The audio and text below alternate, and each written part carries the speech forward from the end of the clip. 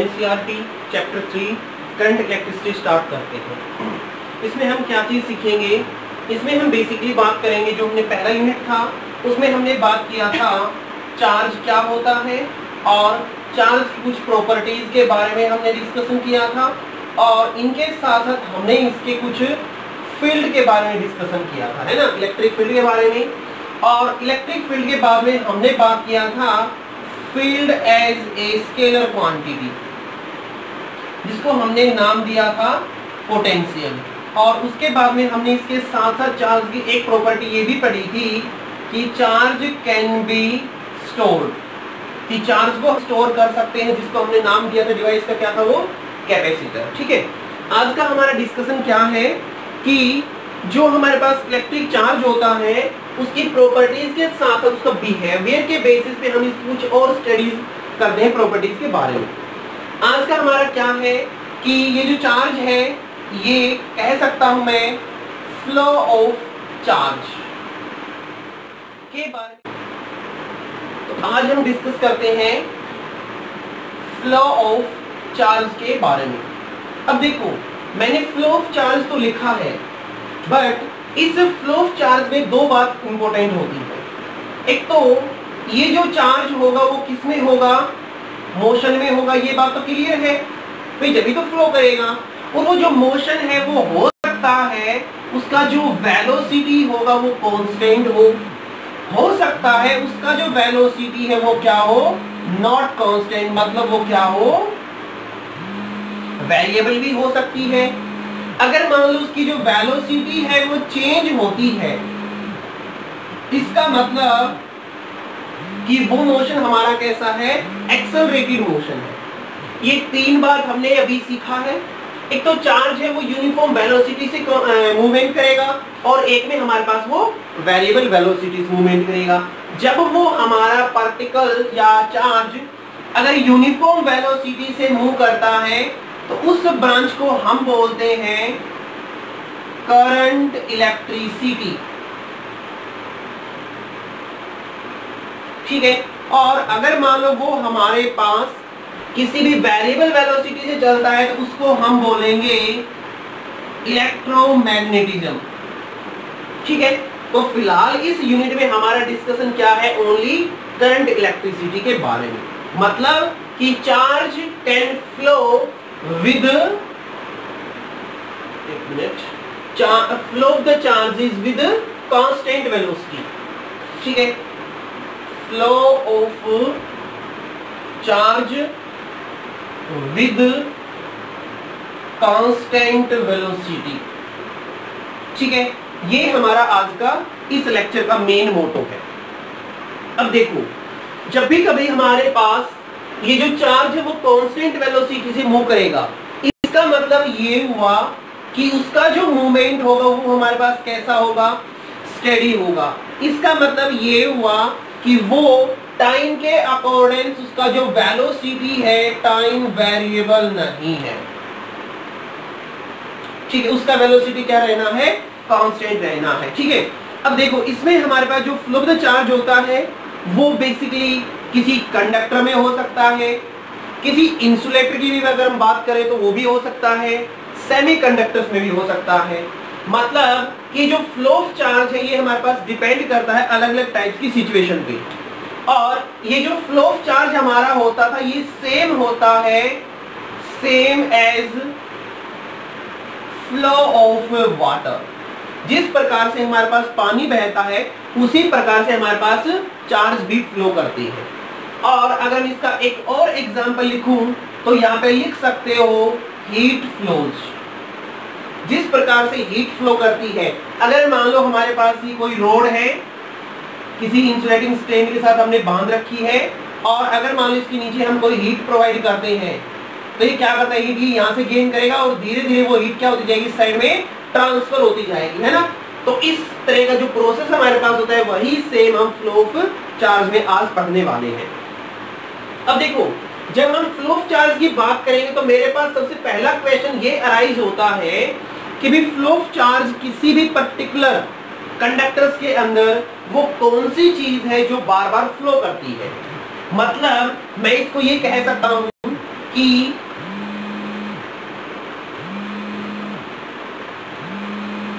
current carriers in current carriers की बात कर रहे करंट कैरियर क्या होता है? देखो करंट कैरियर मतलब जो चीज़ करंट को कैरी करे anything that can carry current जो भी चीज़ करंट को कैरी करता है, वो कहलाएगा करंट कैरियर सबसे पहले हम बात करते हैं टाइप्स ऑफ़ मटेरियल मटेरियल्स हमने कितने पार्ट में डिवाइड किया है? थ्री टाइप्स में कौन कौन सा?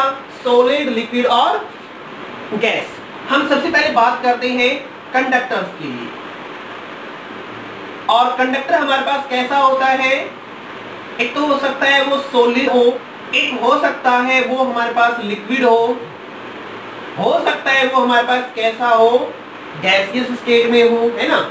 तो अगर वो मान लो हमारे पास सोलिड है तो देखो सोलिड के अंदर एक पार्टिकल से या एक एटम से दूसरे एटम के बीच में कोई भी गैप नहीं होता। मतलब कि वो क्लोजली पैक्ड स्ट्रक्चर होता है। जिसमें एक एटम दूसरे एटम से बिल्कुल बॉन्डेड होता है। तो अगर मान लो मैं किसी एक पर्टिकुलर एटम को मूवमेंट कराऊं तो क्या पॉसिबल होगा? नहीं हो सकता। तो वहाँ पे चार्ज कैरी कौन करता है? Electrons are the charge carriers in solid conductor solids के अंदर चार्ज कैरी ओनली कौन करता है? इलेक्ट्रॉन्स करते हैं। लिक्विड की अगर मैं बात करूँ तो यहाँ पे क्या होता है कि जो बॉन्ड होता है एटम्स के बीच का। वो थोड़ा सा ल्यूज होता है एज कंपेयर टू सोलिड तो यहाँ पे भी हमारे पास कौन करता है? इलेक्ट्रॉन्स करते हैं और कई बार हमारे पास कटाइंस और अनाइंस भी कर जाते हैं। ठीक है? लिक्विड फॉर्म में जैसे तुमने पढ़ा होगा इलेक्ट्रोकेमिस्ट्री के अंदर। ठीक है? वहाँ पे हमने बैटरीज वगैरह पढ़ी थी। ठीक। और गैसेस में क्या आता है हमारे पास? सिर्फ़ क्या होता है? पर्टिकुलर एटम या आयंस मूव करते हैं, जैसे इन्वायरमेंट में मूवमेंट करते हैं। ये हमारे पास होता है गैसेस गैसेस में कैरियर कौन होता है एटम्स और आयंस होते हैं, इसी प्रकार से लिक्विड में और इसी प्रकार से हमारे पास होता है सॉलिड्स के अंदर। ठीक है? अब हमारे पास, ये तो हमने पढ़ा कि भाई सोलिड के अंदर तो ओनली इलेक्ट्रॉन्स होंगे लिक्विड के अंदर पॉजिटिव नेगेटिव आयंस होंगे और गैसेस के अंदर क्या होगा? डायरेक्ट एटम भी मूवमेंट कर सकता है। ठीक है? उसके बाद हम बात करते हैं इलेक्ट्रिक करंट के बारे में। इलेक्ट्रिक करंट क्या होता है? हमने अभी भी डिस्कस किया था कि फ्लो ऑफ़ चार्ज जो होता है वो क्या कहलाएगा? हमारे पास इलेक्ट्रिक करंट कहलाता है।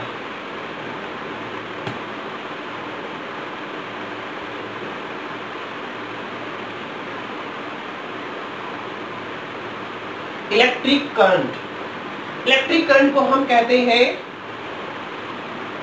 फ्लो ऑफ़ चार्जेस ठीक है?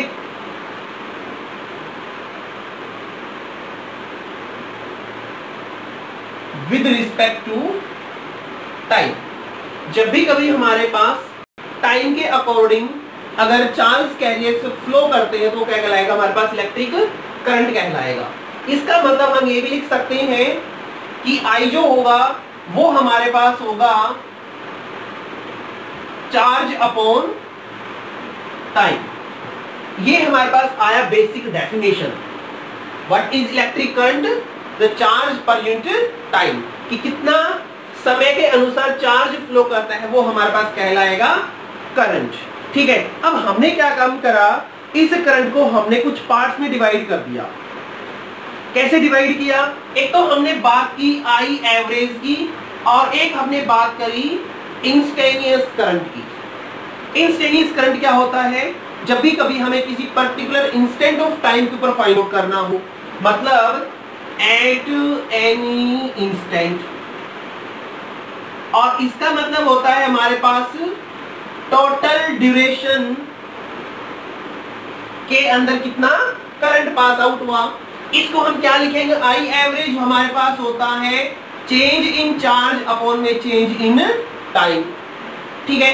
कहने का मतलब ये कि टोटल चार्ज लिखो अपॉन में टोटल करंट वो हमारे पास क्या आ जाएगा? आई एवरेज आ जाएगा। ठीक है? लेकिन इंस्टेनियस का मतलब क्या होता है? इंस्टेनियस का मतलब हमारे पास होता है, अगर मैं एवरेज को लिमिट लगा दूँ delta T tends to zero अगर ये वाली सिचुएशन होती है कि हमारा जो करंट है, बहुत ही बिल्कुल ही ज़ीरो टाइम पीरियड के लिए चेंज हो रहा है।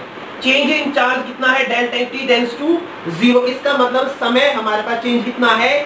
ज़ीरो टाइम तो चेंज हो ही नहीं रहा तो चार्ज भी चेंज नहीं होगा। वो जो करंट हमारे पास आता है, वो कहलाता है इंस्टेनियस करंट और इस फॉर्म को हमने पढ़ा है कि आई इंस्टेंट हमारे पास क्या होता है? D Q by D T इसको हम ये भी तो लिख सकते हैं ना भाई आई इंस्टेंट क्या होगा? Limit delta T tends to zero और del Q by del T. और इसके अगर मैं लिमिट की जो फॉर्म है, उसको मैं ये भी तो लिख सकता हूँ, D by D T of Q, कि क्यू चेंज होता है विद रिस्पेक्ट टू टाइम। ठीक है? अब इसके बारे में थोड़ा सा और हम डिस्कस करते हैं। यहाँ से हमने देखा कि आई इंस्टेंट जो होता है, वो होता है D Q by D T. और यहाँ से डी क्यू की वैल्यू कितनी मिलेगी? आई इंस्टेंट इंटू में डी टी ठीक है? मैं यहाँ पे आई इंस्टेंट की बजाय ओनली आई लिख रहा हूँ ठीक है? तो डी क्यू कितना मिला? आई इंटू में डी टी अगर मान लो मुझे टोटल चार्ज निकालना हो तो क्या करना पड़ेगा यहाँ पे? इंटीग्रेटिंग बोथ साइड तो क्या मिला हमें? डी क्यू का integration integration of I D T ठीक है? और क्यू का इंटीग्रेशन होता है Q is equal to I integration of T ये हमारे पास आ गया total charge at any instant कि हमारे पास कभी भी इंस्टेनियस करंट के लिए जो भी हमारे पास चार्ज मिलेगा, वो हमारे पास क्या होता है? टोटल चार्ज होगा। और वो कैसे रिलेशनशिप क्या है? I is equal to I instant into integration of D T हम उसको लेक्चर को थोड़ा सा और आगे प्रोसीड करते हैं। देखो सबसे पहली बात इसका जो हमारे पास जो करंट होता है,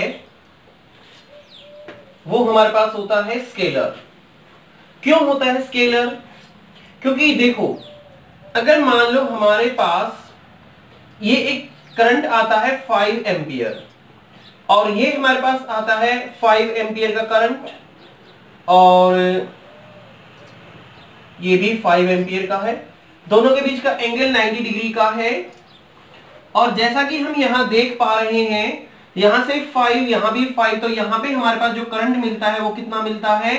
टेन एम्पियर कहने का मतलब ये है कि अगर मैं इसके ऊपर वेक्टर्स रूल लगाऊँ, जो कि हम अभी थोड़ा सा पढ़ चुके हैं नाइन्थ क्लास में, उनका जो रिजल्टेंट पढ़ा था, वो हमारे पास आया था R is equal to root of A square plus B square plus two A B cos theta और यहाँ से आर का वैल्यू बनता है ए का square means five square plus five square plus two into five into five into में cos ninety जैसा कि हम जानते हैं R is equal to root of five का स्क्वेयर ट्वेंटी फाइव इस फाइव का स्क्वेयर भी twenty five plus cos ninety हमारे पास होता है ज़ीरो सो ज़ीरो तो ये हमारे पास आंसर मिलता है रूट फिफ्टी ओके और अगर इसको हम सोल्व करते तो मिलेगा फाइव रूट टू ठीक है? तो यहाँ से हमें यह पता लगा कि जो करंट है, अगर मैं उसको वेक्टरली ऐड करता हूँ तो उसकी वैल्यू हमारे पास फाइव रूट टू आनी चाहिए थी।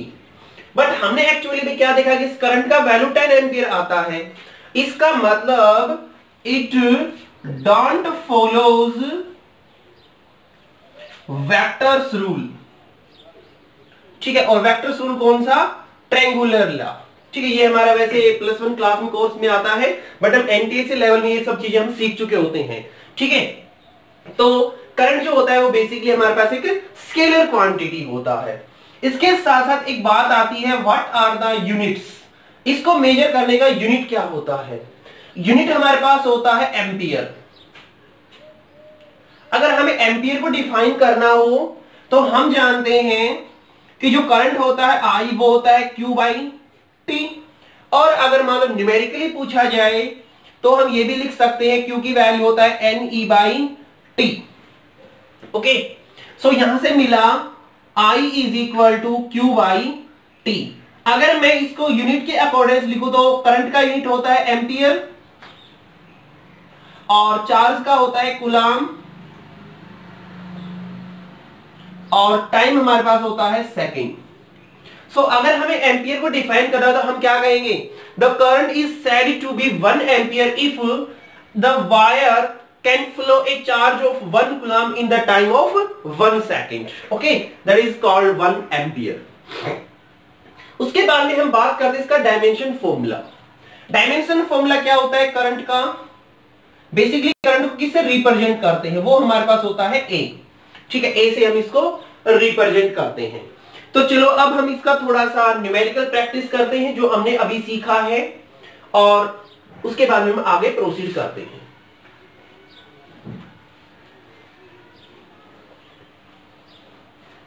देखिए क्वेश्चन है it is given that Q is equal to T square plus forty plus five forty plus five गुलाम। ये हमारे पास चार्ज गिवन है और हमारे से पूछा है कि find instantaneous current find instantaneous current in the given interval of time instantaneous current at T is equal to three second एक पार्ट और सेकंड पार्ट पूछा है आई एवरेज कितना होगा? Given the time zero to three second sorry two second ठीक है? And also draw graph graph या curve ये तीन चीज़ हमारे से पूछा है इस क्वेश्चन में। तो देखो आई इंस्टेंट के लिए हमारे पास एक्सप्रेशन होता था I is equal to instant limit delta T tends to zero del Q by del T या फिर इसको मैं लिख सकता हूँ I instant is equal to D Q by D T ठीक है? और अगर हम क्यू की वैल्यू पुट करते थे मिलेगा D by D T of T square forty T square forty plus five ठीक है? और ये आएगा हमारे पास instantaneous is equal to two T plus four ampere ठीक है? अगर मान लो किसी पर्टिकुलर अगर मान लो मेरे पास जो स्ट्रेंथ है इस लेक्चर को देखने वालों में, अगर डिफरेंशिएशन इंटीग्रेशन में अगर प्रॉब्लम्स है स्पेशली वो लेक्चर अगर बनाना है तो कमेंट सेक्शन में ज़रूर बताएँ, ठीक है? अदरवाइज़ मैं अज्यूम कर रहा हूँ आपको डिफरेंशिएशन आता है, ठीक है? तो इसका क्या हो जाएगा? हम जानते हैं differentiation D by D X is equal to होता है हमारे पास एक्स की पावर एन का होता है एक्स की पावर एन इसका होता है एन एक्स की पावर एन माइनस वन तो पावर आगे आ गया और इसमें से एक घटाएँगे तो आ गया, ठीक है? अब इंस्टेंट कहाँ पे फाइंड आउट करना था? हमें हमें इंस्टेनियस करंट फाइंड आउट करना था at T is equal to three second so I instant हमारा कितना मिला? टू इंटू वैल्यूज़ पुट करेंगे प्लस फोर तो यह आया टेन एम्पियर हमारे पास आ गया इंस्टेंट करंट पहला पार्ट क्लियर ठीक है part number one second part पूछा है एवरेज आई एवरेज का फॉर्मूला हमने सीखा था चेंज इन चार्ज अपॉन में time charge Q2 two minus Q one upon T two minus T one हमारे पास T1 कितना है? ज़ीरो T2 कितना है? टू सेकेंड तो पहले Q2 का वैल्यू निकालते हैं। Q2 हमारे पास टू सेकेंड टू पुट करेंगे तो टू का square four plus eight plus five okay thirteen और फोर सेवनटीन गुलाम। Q1 का वैल्यू आएगा जब zero T is equal to zero होगा तो कितना मिला? ओनली फाइव गुलाम। सो इन सबको देखते हुए आई एवरेज हमारा मिला कितना? Q2 two minus Q one seventeen minus Q one हमारा five upon T two minus T one two में से ज़ीरो गया तो टू ये मिला twelve by two that is six ampere ठीक है? एक चीज़ सुनो। अगर मान लो हमारे पास जो एवरेज आया है वो हमारे पास कितना आया? सिक्स एम्पियर ठीक है? और इसमें हमें कहा है कि भाई इसका ग्राफ भी ड्रॉ करो। अगर हम मान लो ग्राफ ड्रॉ करेंगे तो ग्राफ कैसा मिलेगा हमें? वो ग्राफ हमें मिलेगा यहाँ आई और यहाँ टी तो ग्राफ मिलेगा हमें यहाँ से। ठीक है? ये ग्राफ होगा ऐसे। क्योंकि स्ट्रेट लाइन क्यों होगा? क्योंकि हमारे पास जो एवरेज है वो क्या है? Slope Q2 two minus Q one by T two minus T one ये हमारे पास आ जाएगा इसका स्लो ठीक है, इसी पैटर्न पे हम एक नेक्स्ट क्वेश्चन और करते हैं। ठीक है?